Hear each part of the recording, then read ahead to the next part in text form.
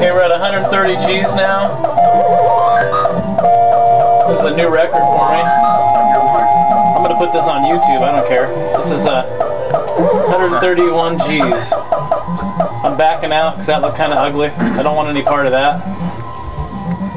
I'm gonna keep recording. That was ugly. Almost died. I'm controlling the barrels here. Billy Mitchell style. Grabbing the hammer. Looking at getting maybe 140 G's. I don't know. Is it still on?